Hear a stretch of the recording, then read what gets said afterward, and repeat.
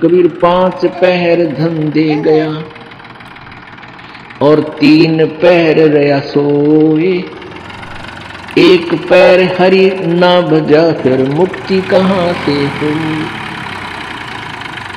आठ पैर चौबीस घंटे को आठ पैर में, पहले आठ पैर होती थी चौबीस घंटे। अब परमात्मा कहते हैं तो एक पैर में आठ, एक पैर में तीन घंटे हो गए। तो परमात्मा कबीर जी ये बताना चाहते हैं कि तीन पैर तन धंधा करा, पंद्रह घंटे।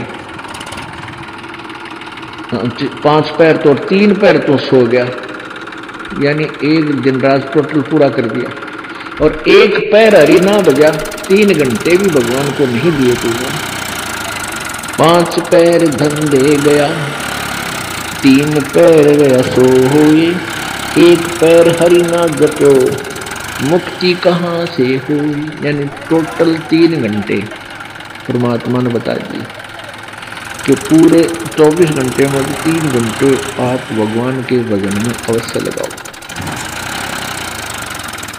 और उनका ये नहीं है कि स्पेशल एक जगह बैठ के लगा लो। बहुत समय होता अपने पास। जैसे आप जी कोई मजदूरी के लिए जाते हो, घर से वहाँ तक घंटा एक लगे। मालिक का सिमरण करता जा। बस में बैठ कर जा रहे हो कोई? काम बस वहाँ भक्ति करें। खेतों में जा रहे हो, खेतों से, घर से लेकर वहाँ तक, जो खूब भक्ति करें, अपना मंत्र में याद रखें। और बहुत से ऐसे कार्य हैं जो काम करते करते भी हम भगवान की भक्ति कर सकते हैं। जैसे खेत में आली हल जोड़ता है जोड़ता है। हमने देखे पहले ही आली में लक्ष्मी चंद की रागनी गाए जाते हल भी जोड़े जाते। तो आप भगवान की भक्ति भी करें, कभी आरती करने लग जाए, कभी भगवान की वाणी बोलने लग जाए। कोई फिल्मी गाने गावे है, कोई और बकवाद सोच रहे हैं। तो इस प्रकार हमने अपना सुमन में तीन घंटे का समय निकालना चाहिए।